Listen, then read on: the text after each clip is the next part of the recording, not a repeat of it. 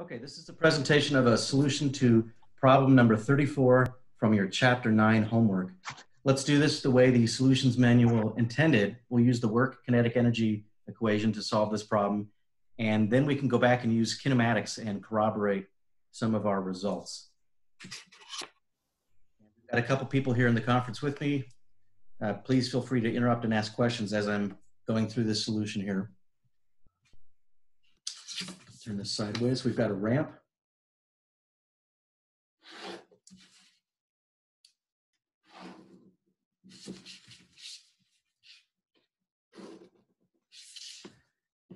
There's a block on the ramp with mass m, which is given. Of course, we're given the in inclination, and we're told that uh, somebody's tied a string or a rope to the, the side of the, the box here, and they're dragging it up the ramp. So let's say the point of attachment is right here, and the rope that's, that's being used to drag the block is not parallel to the ramp, it's actually inclined and I'm, I'm going to exaggerate that angle just to make it easier to visualize. I'll put a dotted line parallel to the ramp. So this angle theta, let's see here, given, we know that this block has a, or this crate has a mass of eight kilograms. Uh, this angle theta here, the ramp is inclined by 30 degrees.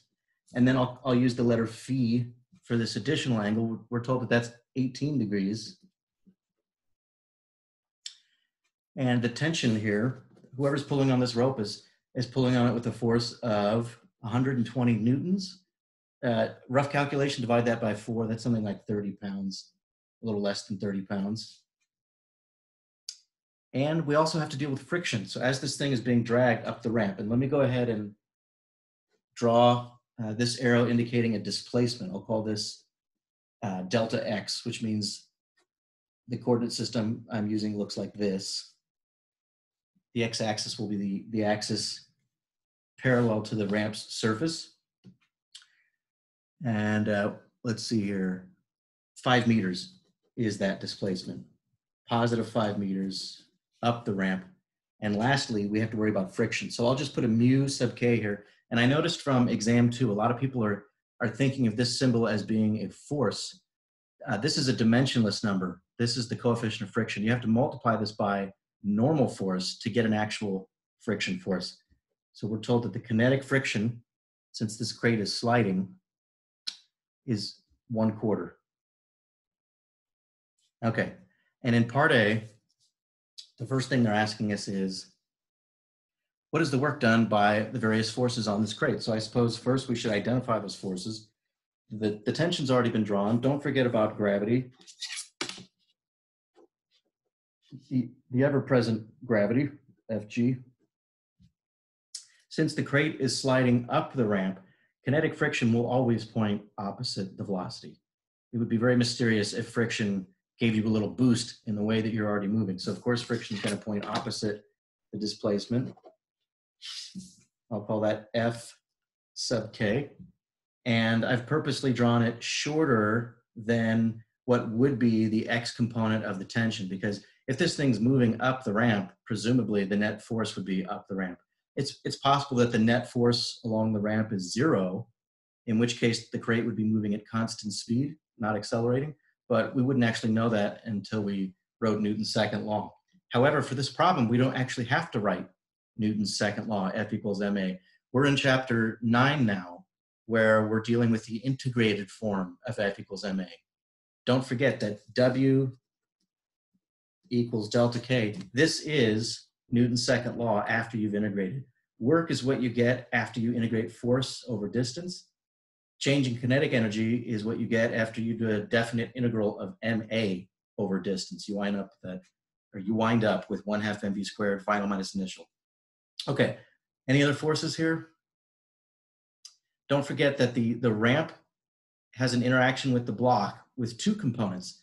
The component parallel, you know, this is the parallel component of the ramp pushing on the block, and we call that component friction. But don't forget that the ramp also pushes in this direction on the block. And since that's normal to the ramp,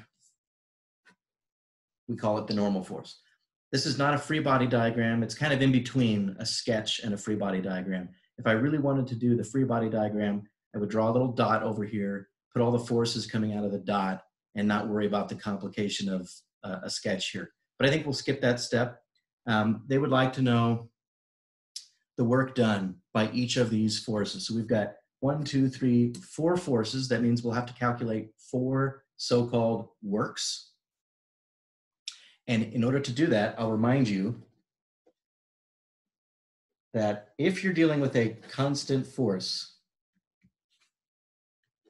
in general, uh, work is a line integral. We have to integrate the dot product of force with infinitesimal displacement. You'd have to evaluate this integrand at each little point along the motion. That, that's the general defini definition of work, but we almost never have to use you know, the full mathematics of the line integral. Uh, if your force is constant, then much like in first semester calculus, you can bring that constant out front.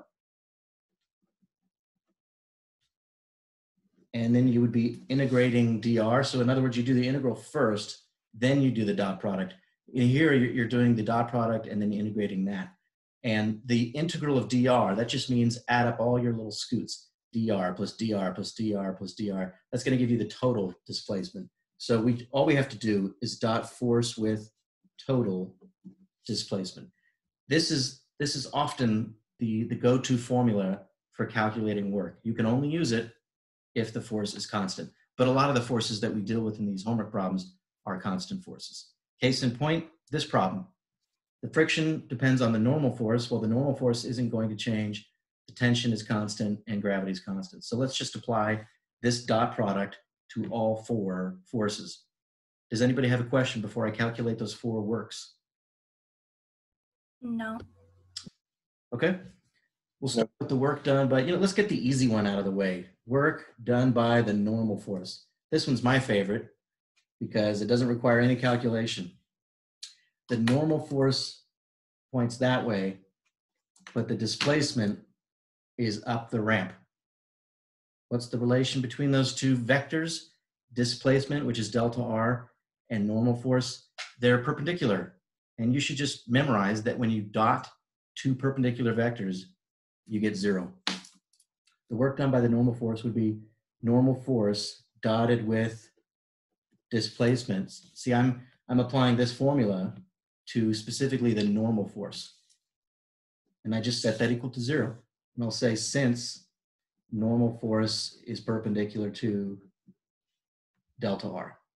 The dot product of two orthogonal vectors is zero. And that's that makes sense, right? Because if the block is moving up the ramp, a force that's pushing perpendicular, it's not going to speed the block up and it's not going to slow the block down. In other words, it's not doing any work on it. Um, so let's move on to, let's do the work done by tension. Work done by tension, that would be the tension vector. Notice I'm not just writing T, I'm writing T with the arrow sign. Tension vector dotted with displacement. Okay, now we have to decide which method we will use for calculating the dot product. In a previous video, I, I presented the, the two methods. You can either take their Cartesian components, multiply and add, or you can multiply the magnitudes of the vectors and the cosine of the angle between them. In this problem, that's the easier way to go, I think, because we're given the magnitude of the tension vector. We're told it's 120.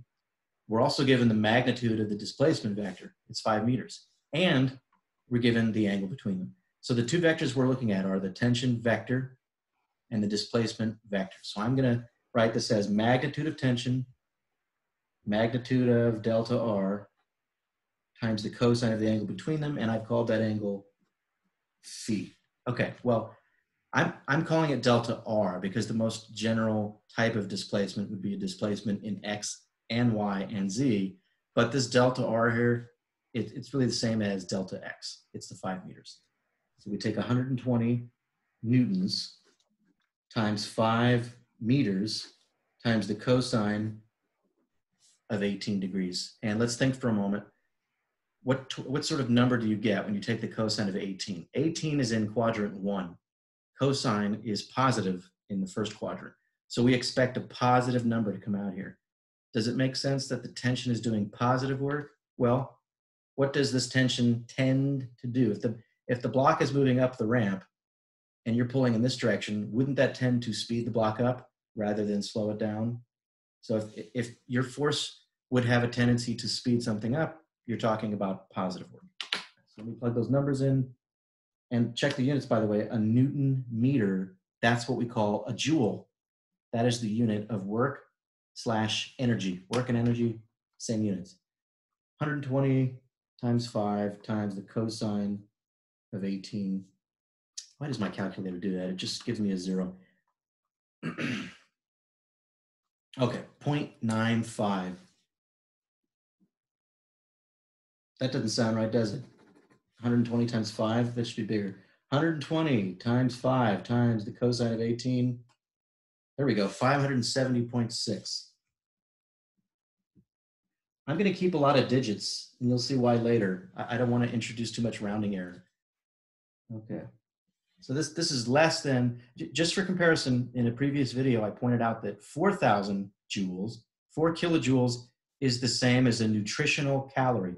So we're talking about considerably less than 4,000 joules, or much less than one nutritional calorie. That makes sense because we didn't pull this thing very far, and we're not pulling that hard. It shouldn't be that much energy. I mean, 30 pounds, if you lift something that weighs 30 pounds through a distance of five meters, I don't think you burned even one calorie. And so it's no surprise that this number comes out less than one calorie. Any questions about the calculation of, of that particular work? No. Okay. What else can we do here? The work done by friction. This one requires the most calculation. Okay, that's going to be the friction force dotted with the displacement. Well, first let's decide what's the angle between these two vectors. Displacement points up the ramp, friction points down the ramp. The angle between those two is 180. That makes sense because when we go to take the cosine, the cosine of 180 is negative one. That's going to give us a negative quantity for the work. That's what we expect because if something's moving that way, and you're pulling backwards on it, you're going to slow it down. That is negative work. Or, or you know, if you were the only force acting on it, you would cause it to slow down. In reality, there's several forces here, so it may actually be speeding up. Okay, um, here's a, an easy mistake to make. This came up last semester, I remember. Whoop. Runaway page. This statement is, is true. We, this is the model that we use for kinetic friction. But this statement is not true. If I make this a vector statement, it's no good. Does anybody see why this is not true? It, the magnitudes do have this relation, but friction points backwards down the ramp and the normal force points perpendicular. How can two vectors be proportional if they point in different directions? That's not possible. Um, you can't have you can't say that this vector is proportional to this vector they'd have to point in the same direction if one is just a scalar times the other. So not true. Um, so don't, don't fall into that trap right here. But what I can do now is say, well, that's going to be the magnitude of the friction. See how if you don't write the arrow symbol, you're just talking about magnitude times the magnitude of displacement. And this time I'll go ahead and emphasize that's, that's uh, delta x times the cosine of the angle between them. Well, let's decide what that angle is. I, I already did that, didn't I? That's cosine of 180. Okay, well, we're not done yet because we still have to evaluate friction. We do know that the magnitude of friction is mu times the normal force. And I'll put times negative one. I could have just written a minus sign out here. Okay, so I, I ran out of room here. I, I can't finish calculating this work on this page because we still have more to do. We need to determine, this is supposed to be an N right here. We have to evaluate the normal force before we can calculate the work done by friction. So you may be thinking, well, that's easy. It's just mg. Or maybe it's just mg cos theta. But both of those are incorrect for this problem. I've said this before, but the only way to know for sure what the normal force is would be to write Newton's second law along the normal axis. You need to write an equation that has n in it so that you can solve for n. So let's go over here now and say uh, to determine n. And you know what? I thought I was going to get out of doing a free body diagram, but that's not the case here. Okay, so this dotted line will represent uh, the surface of the ramp. We have gravity.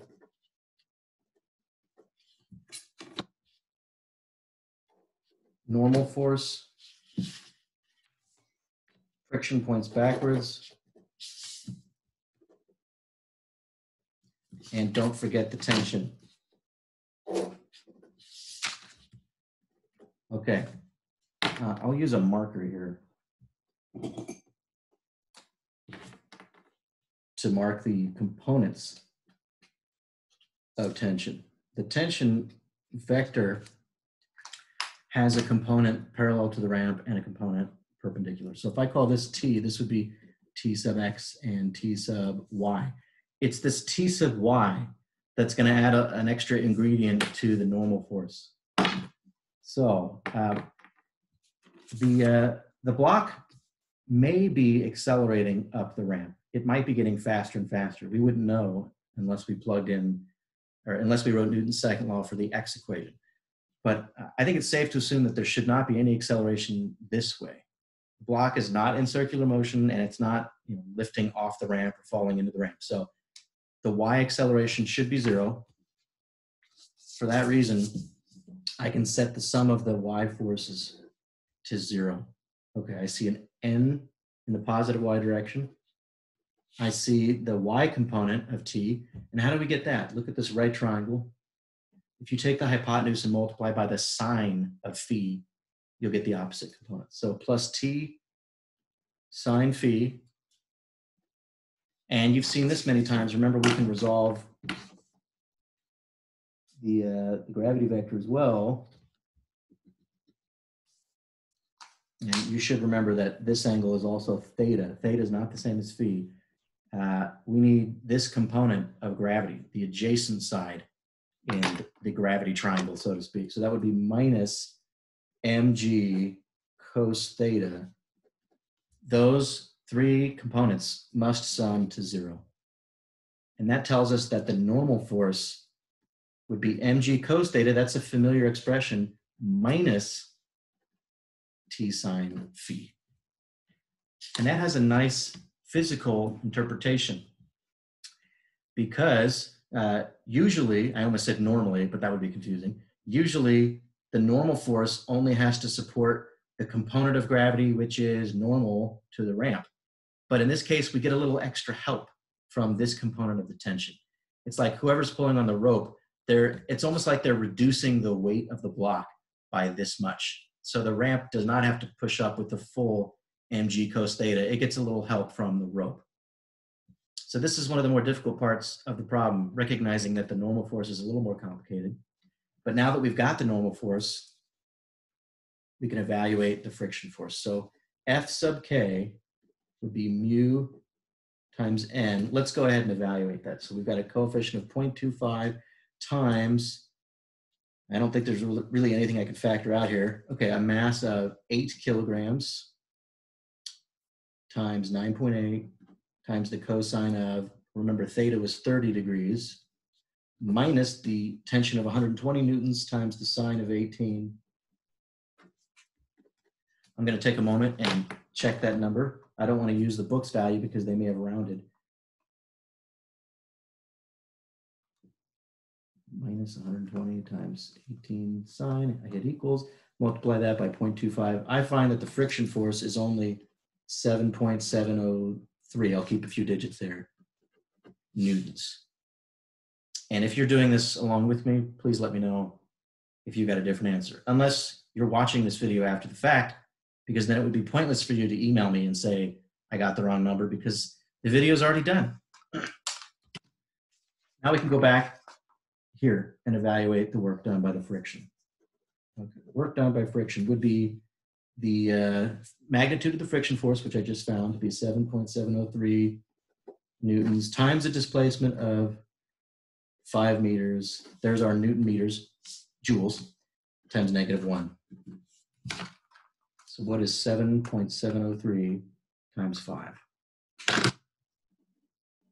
3.515 joules with the minus sign. Don't forget that minus sign. Okay, and that number sounds familiar to me, having done this problem before. Let's compare the size or the magnitude of those two works. The tension did quite a bit more work in joules than did the friction. So you wouldn't expect the friction to slow this block down by a whole lot. Any questions so far? Because there's still quite a bit to do in this problem. No, I'm good. Okay. What other works do we have to calculate? There are four forces. We've already calculated one, two, three different works. The last one would be the work done by gravity.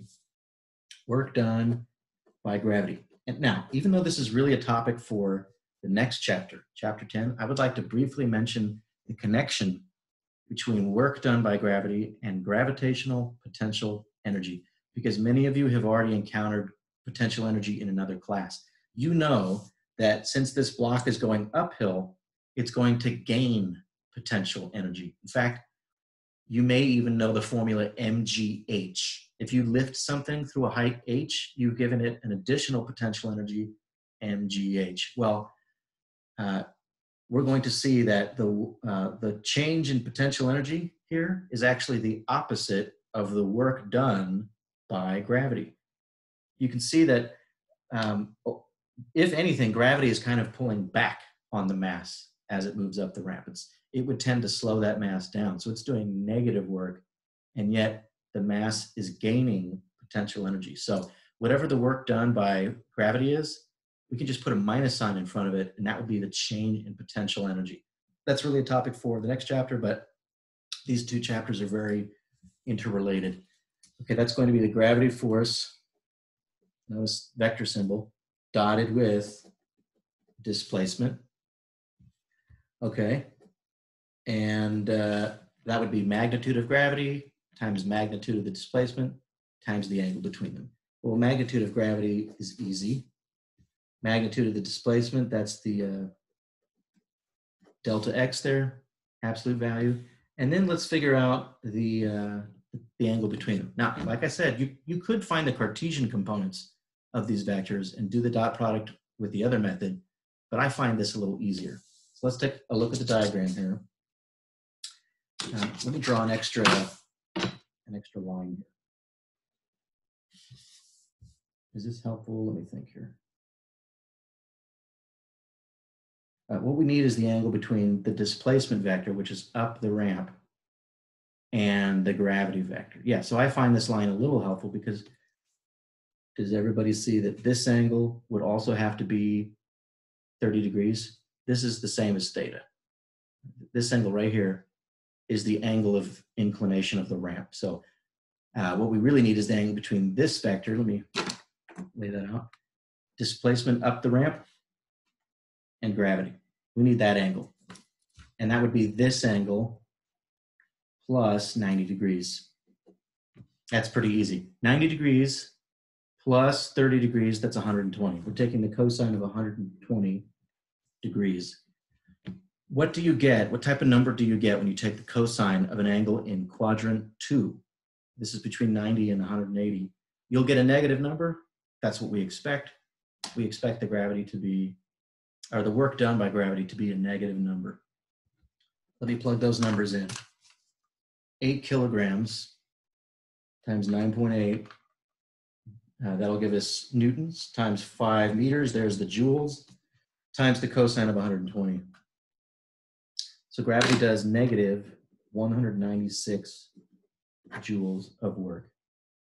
Still a smaller number in magnitude than the work done by tension. So it looks to me, it looks like to me, if you add up all the works, work done by normal force, tension, friction, and gravity, you're going to get a net positive number.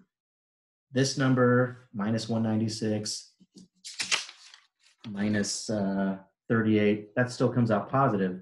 If, if a net positive work is done, remember this W really means the total work. the work done by all forces because we got it by integrating F equals ma, where F is the net force, the sum of all forces. Since the total work comes out positive, that tells us that the change in kinetic energy is positive. In other words, this block is speeding up. That's another way of saying that, uh, that the block is accelerating up the ramp. So if we applied F equals ma along the x-axis, we would expect to reach the same conclusion. There is an acceleration up the ramp. Okay.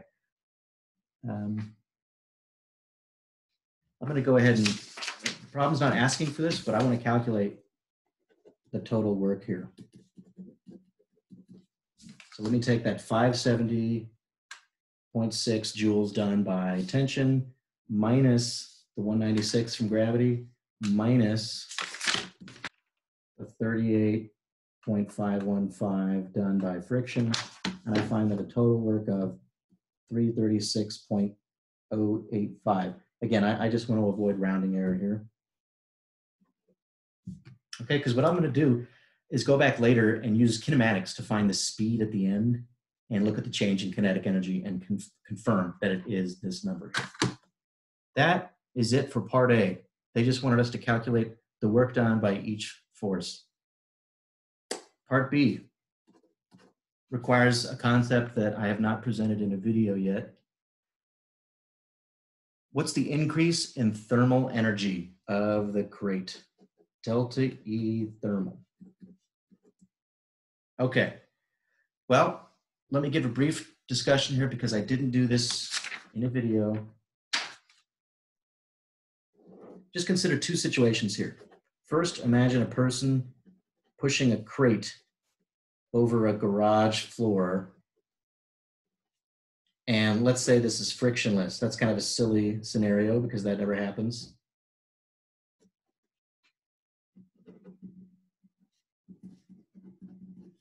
Okay, you've got, sure, you've got a normal force on the crate, gravity down on the crate, but the only force in this direction would be the applied force from this person. So this person is definitely doing work on the crate because the crate moves to the right and the person is pulling or pushing, excuse me, to the right. So where does this person's work show up? I mean, you, you can feel it when you push on something, you're expending energy. Where does all that energy go? Well, some of it is dissipated as heat within your body and it's radiated from your body as heat. You know, you, you sweat and that evaporates. That's a topic for 3C, which we're talking about right now. But if this floor really was frictionless, then after you finish pushing on the block, it's going to be moving. It will be sliding across the floor and still moving because it's frictionless. Again, that, that doesn't happen in real life. So maybe you should think of a hockey puck or a bowling ball. But you can see where your work shows up. It shows up as the kinetic energy in the box. Consider now um, an, a different scenario where there is friction.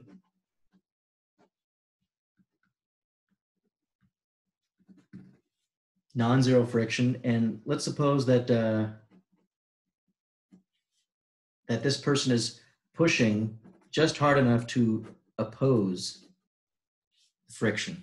So let's say you're pushing with 20 pounds and the friction from the floor is also 20 pounds backwards.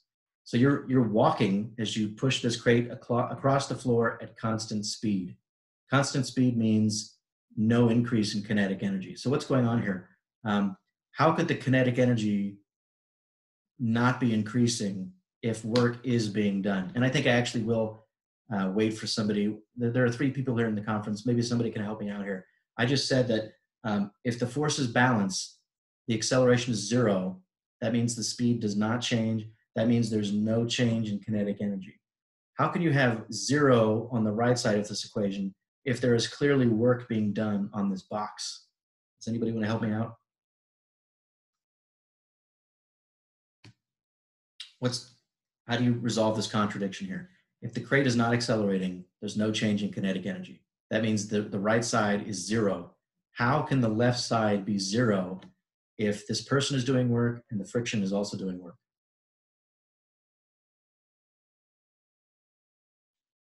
Is it because that's friction? Wait, wait, what'd you say about the friction? The friction is uh, doing work? That's true. The, the friction's doing negative work. I guess I'm yeah. getting you half the answer here. The friction is doing negative work because it points opposite the motion. Here's the, the displacement. Yeah. friction's doing negative work, the person's doing positive work, and yet the kinetic energy is not changing. So this is zero. How is it possible for the total work to be zero? If they cancel out. There you go. Person's doing positive work, friction's doing negative work. Those numbers can sum to zero. So each individual force may be doing non-zero work, but when you look at the total work done, it may be zero, in which case the object is not speeding up and it's not slowing down. So where does that work go? The work done by the person, this is, this is the whole point of this little mini discussion here. Over here, it's easy to see where your work shows up. All your hard labor shows up as kinetic energy. It's just like if you throw a rock, you're doing work on the rock, where does that work go? You can see it after the rock leaves your hand. The, the rock is moving, it's got energy, and that energy is going to end up somewhere else. You know, maybe you knock a can off of a log with it, or I don't know, you're hunting and you kill a poor little bird. The energy is used to do something. But over here, where's that energy showing up? Because it's not showing up as increased energy of the crate. That you're not seeing your labor appear as increased kinetic energy. So can anybody figure out where the energy is going? And I'll give you a hint. Heat. Rub your when you rub your hands together, where does all that work go? Uh, heat. When you when you rub your hands together. It's like heat. Yeah, that's the whole point usually of rubbing your hands together because you're trying to warm them up in the cold. So the the the friction, that work done by friction, shows up as what, what your book calls dissipated thermal energy. We say that the energy is dissipated, uh, or the yeah, the, we consider friction to be a dissipative force. So very briefly, I'll just say in this class, dissipative, dissipative forces, there are only two that I can think of. Kinetic friction is a dissipative force, and drag. Those forces take uh, the energy of, for instance, a moving crate, and they dissipate that energy as what's called thermal energy. And I won't go into detail now because I'd have to draw some pictures. Your book's got a nice discussion. If you could zoom in, make it eh, to the to the scale of like individual molecules and atoms. When you rub your hands together, you don't see your hands moving. But if you could take a, a, a, a um, um, microscope, excuse me, if you could take a like an electron microscope and look at the particles of your hand close up, you'd see that they're all jiggling a little bit faster now that the temperature has been raised. So it's kind of like microscopic kinetic energy. All the particles that make up the tissue in your, your skin, they would be jiggling just a little bit faster after rubbing your hands together. So that, that kinetic energy showed up somewhere, but it's now on a microscopic or submicroscopic level. You can't see it as the, the macroscopic motion of, of the box. It shows up submicroscopically. I'm saying submicroscopic because you can't actually see atoms under a normal visible light microscope. Whoa, okay, that's that's a lot of information there. But the the equation that we need, the equation that comes out of this discussion is the following. Delta E TH. This TH is for thermal. Thermal uh, connotes heat. So delta E thermal uh, suggests a change in thermal energy, and it's always a decrease. Excuse me, increase. I got that backwards. It's always an increase. Um, can you imagine rubbing your hands together and feeling them getting colder? Like that's that's probably never happened to you. Why would why would friction remove heat from something? That that just doesn't happen in our experience.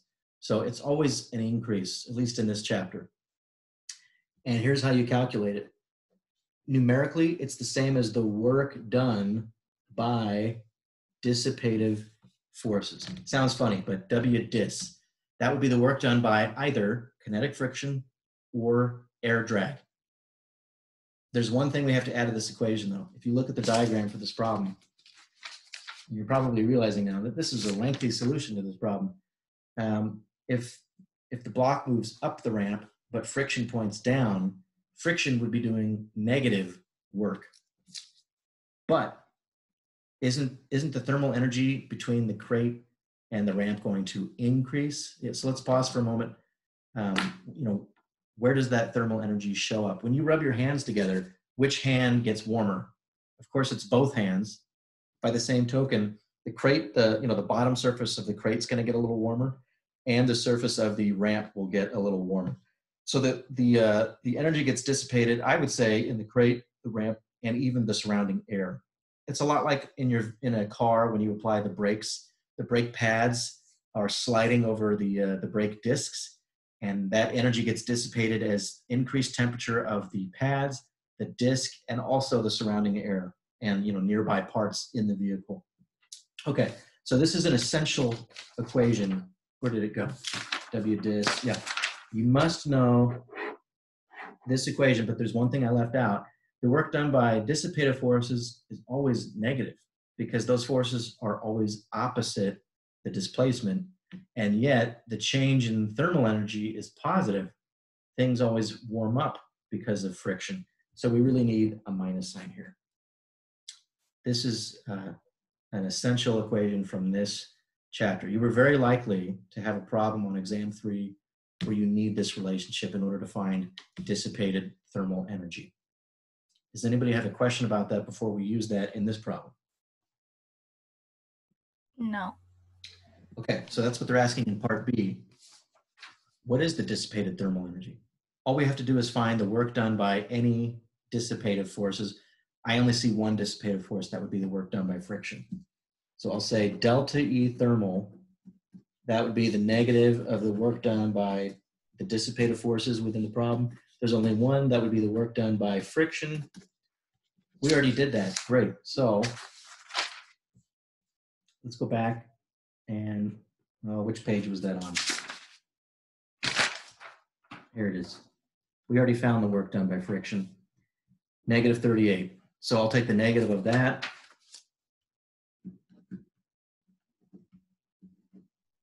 I'll just round that. We'll say 38 joules of uh, thermal energy were dissipated. And that's kind of small compared to the work that was put in. Whoever's pulling on this rope, they did 571, let's say, joules of work. Of that 571 joules, 38 are dissipated as thermal energy. That sounds about right. You wouldn't expect to, to uh, drag a crate across a surface and have the surface get super high, just over five meters of, of sliding. That would be a little surprising. Okay, there was a lot going on in that problem. I, would like to look at one other thing about this problem, unless somebody, again, unless somebody has a question here. Hello, Esteban. Hey, right. sorry, jo join late, sorry. Oh, no problem. Uh, yeah, there's no penalty for showing up late to uh, video conferences. That's the nice thing about this remote remote instruction. That's probably the only nice thing about remote instruction. Okay, what I'd like to do is is go back and use kinematics this time to try to confirm this number because I want you to internalize that what you're doing here really is applying F equals ma in integrated form. W equals delta K comes from integrating F equals ma. So if we go back and use F equals ma directly, we should get the same result. Um, so let, let's try uh, using kinematics here to figure out how fast this block is going after it has been pulled through five meters. Now, if you read the problem carefully, they don't actually tell you how fast the crate was going at the beginning, which made me wonder, uh, does that mean I cannot apply kinematics? Um, like, how are we supposed to proceed if we don't know what the velocity was initially. But it turns out you can just make an assumption about it and you still get consistent results. So I'm going to assume that the initial velocity is zero. And then we can use kinematics to find the velocity at the end. Okay, so I'll just I'll just do this quickly since we're past we're over it. Chapters uh, four through eight, you should already know that stuff. The acceleration would be the net force over the mass net force in the x direction. So I go back to my sketch or my free body diagram. I've got a component of tension up the ramp. I've got friction down the ramp. And I've got a component of gravity down the ramp as well. So you can you can take a look at the free body diagram and confirm that, but I'm just going to write all those. Uh, I've got a T cos phi up the ramp. I've got an mg sine theta down the ramp. And don't forget about friction. I've got a mu k n down the ramp, and I'd have to divide all of that by m. Okay, 120 newtons was the tension, cosine of 18. Uh, 8 kilograms times 9.8 times the sine of 30. I remember that the sine of 30 is 1 half minus 0.25 times ew, the normal force. Did we actually get a number for that? I think we did, yes, 7.703. Here is why I kept all those digits, because I want to see if the result that I get matches what we found in uh, part, part A. Okay, that's the net force in the x direction. I would have to divide that by the 8 kilograms. Let me evaluate all of this. Okay, 120 times the cosine of 18 minus 8 times 9.8 times the sine of 30 minus 0.25 times 7.703. I have to hit, hit equals first so that my calculator does order of operations correctly. Now I can divide by 8. And I find the acceleration is a little surprising because that's more than 1g. That means that this person is, is pulling on the block pretty hard compared to the object's weight. This is a good fact to remember. If something is accelerating at a rate greater than g, that means the net force on the object would have to be greater than the object's weight. Let's think about that. 8 kilograms times roughly 10 newtons per kilogram. That's 80 newtons, but this person's pulling with 120. Granted, it's, it's not in the x direction, but so this convinces me that it is possible for this thing to be accelerating at a rate greater than 1g. Okay, that's most of the work. Now that we know the acceleration, I'm thinking back to my kinematics. I would like to find the velocity at the end. I've got a displacement of five meters. I've got two velocities and I have an acceleration. Which equation relates those for constant acceleration kinematics? That would be v1 squared minus, oops, v1 squared, that's a two, minus v initial squared equals two times the acceleration times the displacement. This is the equation that will get me the quantity that I want. So let me cross out that because it's just zero. I'm assuming it's zero.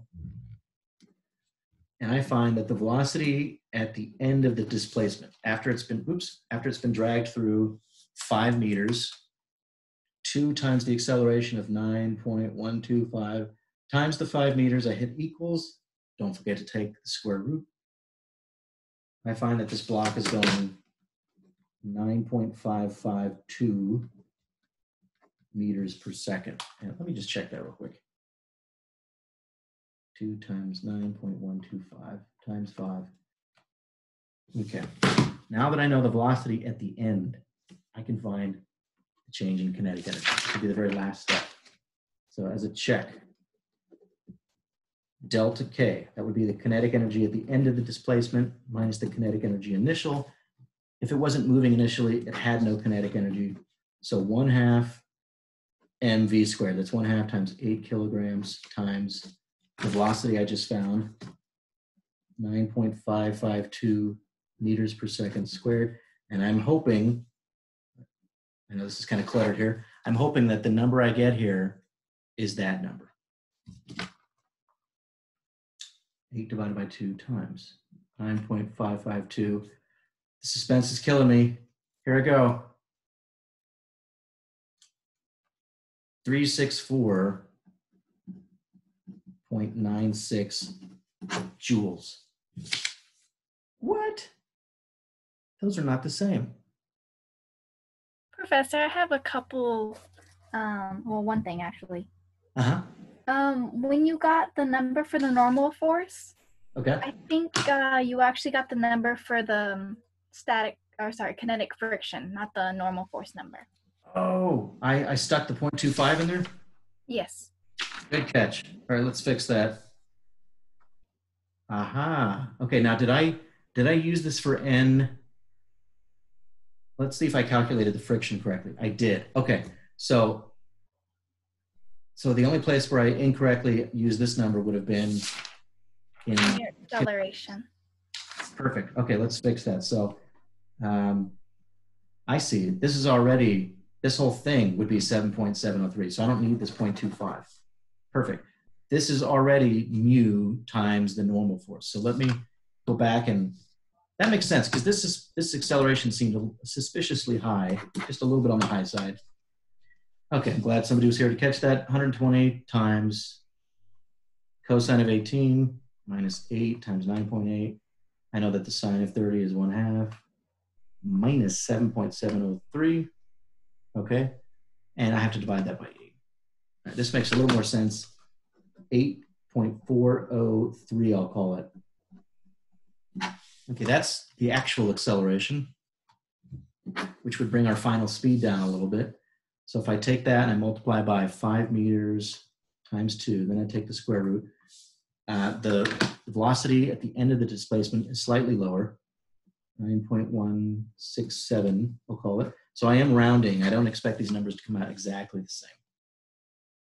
9.167. And I'll just use the space up here now. I'll say check.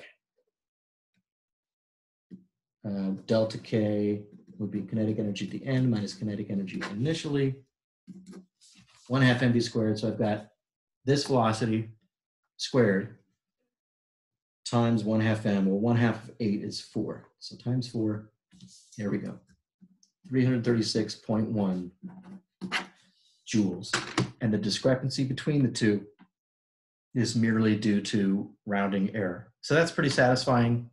And again, you may be thinking, whoa, that's amazing. You could use F equals MA, or you could use W equals delta K, and you get the same answer. It's like a mystery. Unfortunately, it's not a, a magic mystery. W equals delta K is F equals MA. So if the fundamental theorem of calculus works, then of course this should work as well. It's kind of, it's kind of nice. I mean, it took me years of doing these, even though this is, you know, somewhat uh, introductory physics here. I had to do this stuff for years before realizing that a problem like this really is a check on the fundamental theorem of calculus. So that's pretty satisfying. That's the most involved problem from your homework. Does anybody have any last questions about that problem? Okay, I'm going to pause. Nope. Let's take a look now at, at number 35 from the same chapter. This is a problem about little Johnny sliding down a playground slide. Oh, I'm sorry, his name is Justin. It'd be funnier if his name was Johnny, little Johnny, but we'll go with Justin. Okay, playground slide. This and this problem always reminds me of one of the earliest most sobering lessons I learned in life. I remember being a kid at a playground and going down one of these slides and thinking, you know, this slide smells like urine, but that can't be that smell. Nobody would ever pee in a slide. And then I got older and realized, yes, somebody would definitely do that. And that's probably what it was. okay. This, uh, this slide, we're told, is eight meters tall. And here's little Johnny he's about to go down the slide. Now, Johnny's mass, MJ. He's a little kid, so we don't expect this number to be very large 30 kilograms. All right. And we're told that when he gets to the bottom, so here's Johnny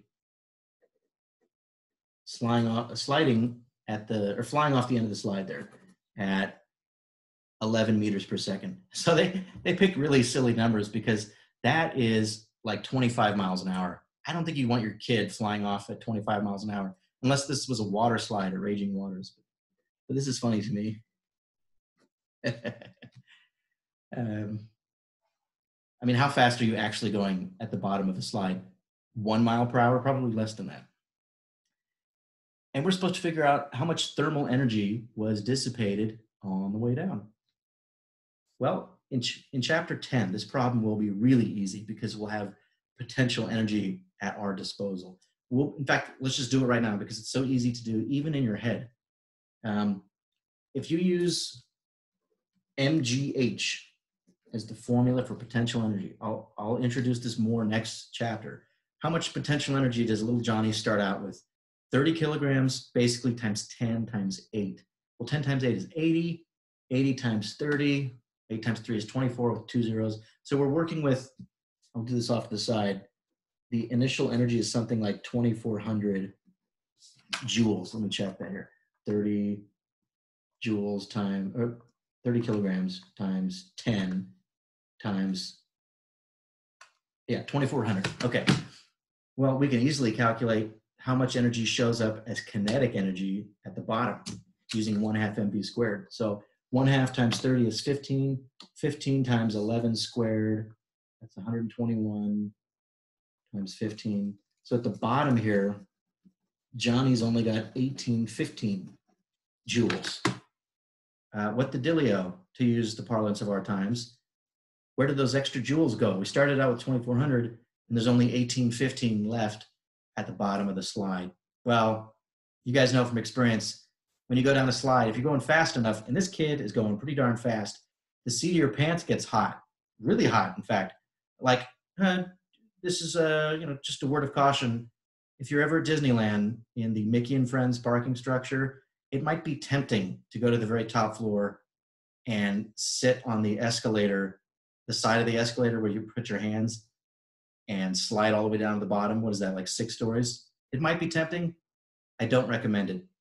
I'm just saying, because you're going to get an awful lot of thermal energy dissipated on the way down. So, from an energy perspective, uh, this is so intuitive. You could just say that the thermal energy dissipated would just be whatever you started with, um, which is the gravitational energy at the top. I'll call that UG1 minus the kinetic energy at the bottom. Take that 2400 joules, subtract the 1815, and whatever the difference is, that's the energy that got dissipated thermally. So we can answer the problem that way, no problem. But I'm going to go back and do it using the work kinetic energy equation, because that's what we're supposed to be doing in this chapter. So it looks like 585 joules of energy were dissipated. Any questions about that approach? All right. Um, the other way we could do it would be to say, say or. Work or delta E thermal. That's just the negative of the work done by any dissipative forces. Remember, dissipative forces always do negative work. Negative, negative would give us a positive change in thermal energy. That's what we expect. Things should heat up. The only dissipative force here would be the kinetic friction between the seat of Johnny's pants and the slide. So that would be the negative of the work done by kinetic friction. Well, that would be kinetic friction dotted with displacement. And then we run into a problem because delta R, presumably, that would be the, the displacement down the slide. But remember, uh, you can only use this type of calculation if what is true. Is it A applicable with an A? If the force is constant. A. You can only just dot force with displacement if your force is constant. That's the only way to uh, to do the calculation of work. I don't actually know if the kinetic friction force is constant. Because think about it. If this is a curved slide, uh, then when the kid is right here, the normal force points that way. Here it points that way. The normal force would always be changing. And that means that the kinetic friction force would always be changing in magnitude. So I don't think the kinetic friction is constant. It's not a constant vector on the way down. It's probably changing in magnitude and it's certainly changing in direction because the tangent line, slope of the tangent line changes. So I cannot actually use this equation. Uh, furthermore, uh, even if I was going to say, you know, work done by friction would be the line integral of friction dotted with displacement. We're not mathematically equipped in this class to evaluate this uh, for this arbitrary curve. We're not even told what the curve is. So we're going to have to back up here and, and figure another way of doing this. Hmm. Hopefully you're appreciating the difficulties here. Um, I'm looking at my notes. Does anybody, is anybody confused by my thought process there? Or do you have a question about, you know, these steps that I just described? Th- This was super easy. This is how your solutions manual does it, but we're trying to do it using the methods of chapter nine. Here's what we can do instead. We do know this is true. This has to be true. Where W is the total work. We know this is true because it comes from F equals MA. So the extent, to the extent that F equals MA is the proper description of mechanics, this equation is also correct. I only see uh, two forces doing work here. WG plus W dissipative. And uh, you might be thinking, wait a minute, though there are more than two forces on little Johnny. Let's think about it. Um, I'll draw the forces on him. It's let's just say, since I already drew him here, you've got gravity pulling down on him while he moves. You've got friction, which is backwards and you know anti-parallel to the tangent, and then there's also the normal force. So arguably, we would have to calculate the work done by one, two, three force, work done by gravity, work done by friction, and work done by normal force. However, can anybody tell me why we don't need to worry about the normal force? This showed up earlier today. Why is the work done by the normal force zero? Isn't it because it's um, perpendicular to the um, friction, kinetic friction? You're, you're almost correct. It's perpendicular to the displacement. So at all points along Johnny's uh, motion down the slide, dr is that infinitesimal little displacement. His displacement is always tangent to the surface. He's always moving tangent to the surface, and that means dr is always perpendicular to the normal force. So when you do the dot product, here I've, I've written it for uh, kinetic friction, but over here I can say work done by normal force would, would be the integral of n dotted with dr. This integrand is always zero, and that means the work done is zero.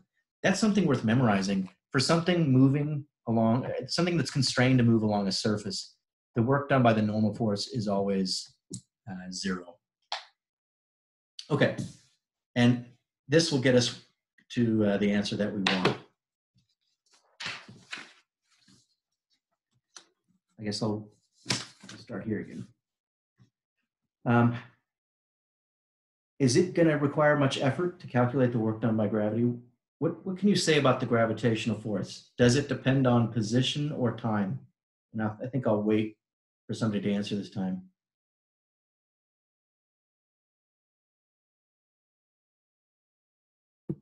I'm sorry, could you repeat that? Yeah, uh, I'm thinking about how to calculate the work. And if, if the gravity force is constant, we could use that simpler formula. So does the gravity force depend on position or time for little Johnny? No, we always think of gravity as having magnitude mg and it points straight down. So I can say since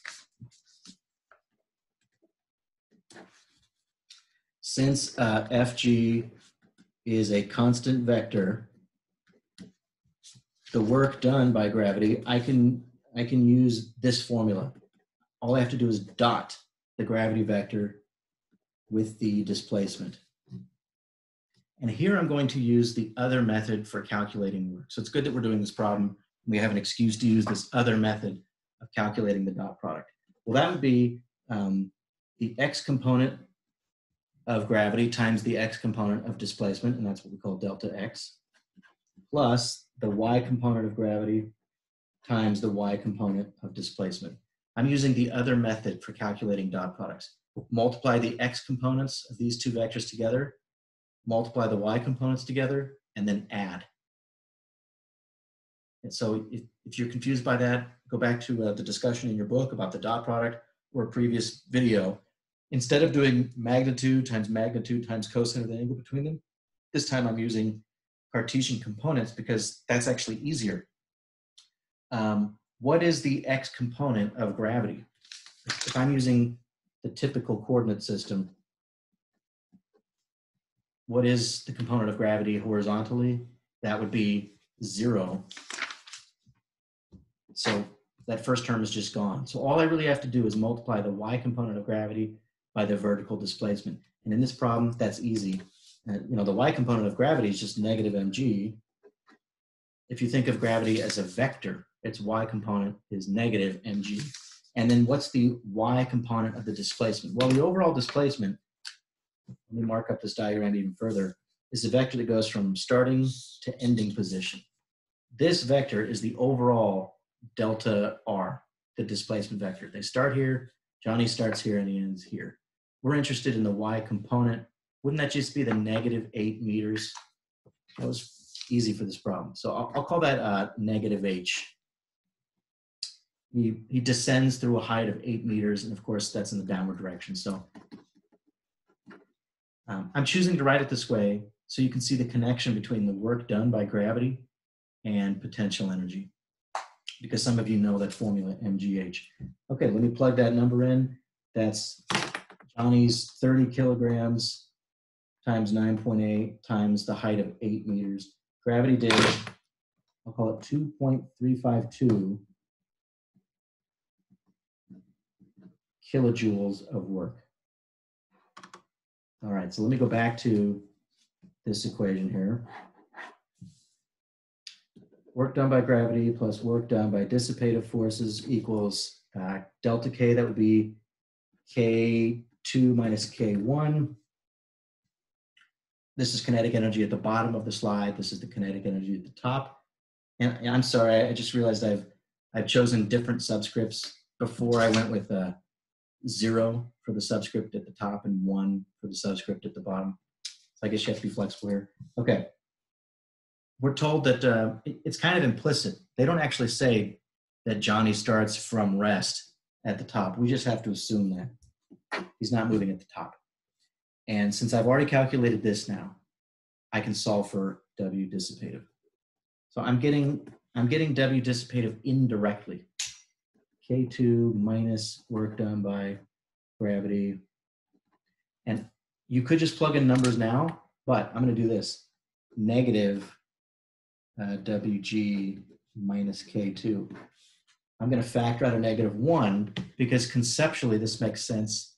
Um, gravity did 2.352 kilojoules of work, but only something like, didn't we already calculate the uh, kinetic energy at the bottom? Yeah, 1815. So 2.352 kilojoules minus uh, 1.815 kilojoules. This is how much work gravity did, but not all of that work shows up as kinetic energy. Only this much energy shows up as kinetic energy, or only this much of the work. So the rest of it is what was dissipated by friction. And of course, the minus sign is there to remind us that uh, dissipative forces do negative work. Okay, so this is negative 2.352 minus 1.815, and that's negative 0.537 kilojoules. You could have just written it as 537 joules. And I think I'll do that now. The whole point here was um, to find the increase in thermal energy. Well, delta E thermal, that's just the negative of the work done by dissipative forces. So I'm finding 537, oops, joules. So it's really a very simple problem. If you're able to start from uh, potential energy, the concept of potential energy, but that's really for the next chapter. This number 585 is a little different from the 537. And the reason for that is when I, when I estimated this number, I used uh, 10 for nine for G. Instead of 9.8, I used 10 because I just wanted to do a quick calculation in my head. Okay, so let me just let me just summarize the the overall thought process here. Um, the one way to answer this question, what is the thermal energy dissipated?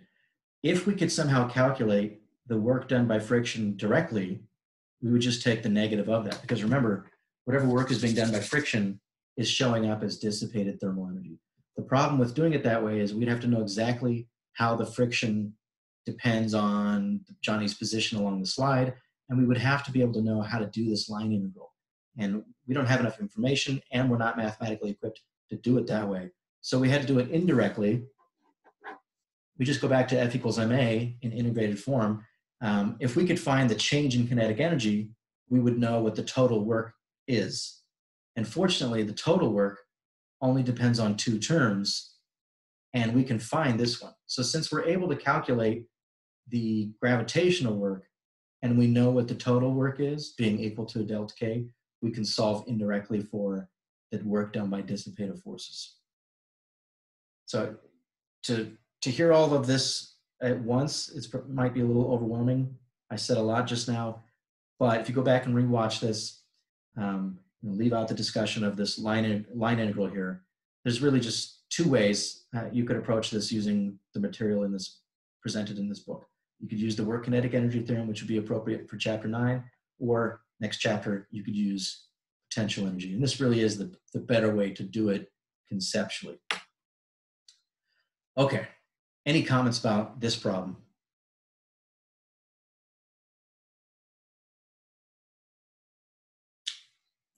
Okay, I'm going to stop recording here.